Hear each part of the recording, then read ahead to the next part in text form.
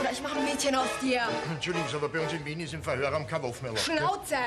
Ich mache hier die Ansagen, ist das klar? Ja, aber ich wollte ja nur... Ist mir egal. Schon gut, schon gut.